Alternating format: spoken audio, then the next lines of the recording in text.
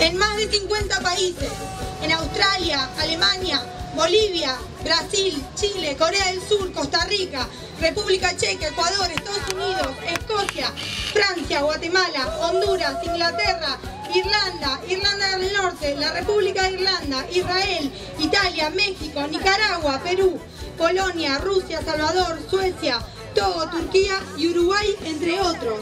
Estamos poniendo en pie el paro internacional de las mujeres. Salimos a las calles en defensa de nuestras vidas y por nuestros derechos como mujeres y como trabajadoras. Desde que en 1910 en la segunda conferencia de mujeres socialistas fuera promulgado el 8 de marzo como Día Internacional de la Mujer, las trabajadoras formales e informales no hemos dejado de congregarnos en esta fecha. Llevamos con nosotras en cada una de nuestras luchas a las 15.000 obreras textiles neoyorquinas que marcharon por las 8 horas a principios de siglo, a las inglesas y francesas sufragistas, a las rusas que comenzaron la revolución de 1917 con el zar, a las feministas negras de los 60, a las que abrieron camino por nuestros derechos sexuales, a las grandes figuras y a las heroínas anónimas, a las que se llevaron, a las que asesinaron, a todas las que ya no están. Este nuevo movimiento de mujeres es hijo de esta historia antipatriarcal y anticapitalista. Por eso, con orgullo, hoy decimos, viva el Día Internacional de las Mujeres Trabajadoras, viva el Paro Internacional de Mujeres. ¡Viva!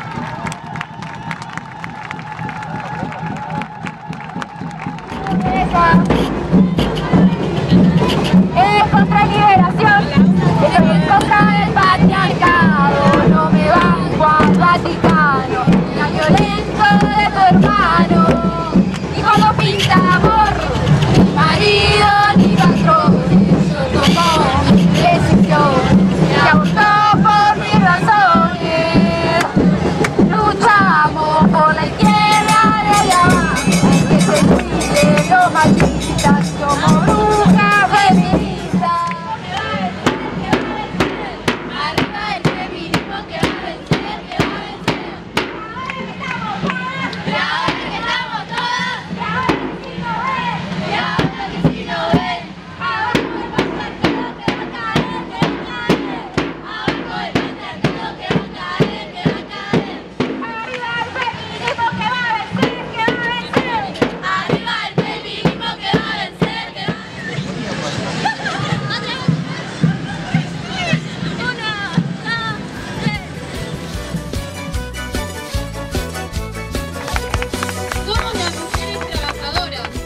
cargamos sobre nuestras espaldas las consecuencias del avance de la derecha a nivel mundial.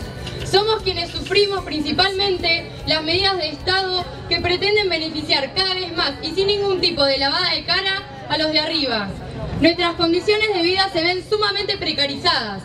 El 70% de las pobres del mundo somos mujeres. Perdemos más fácilmente nuestros empleos y accedemos a los peores trabajos. Cobramos un 30% menos de salario por igual tarea realizada respecto a los varones. No tenemos el mismo acceso ni posibilidad de organización sindical.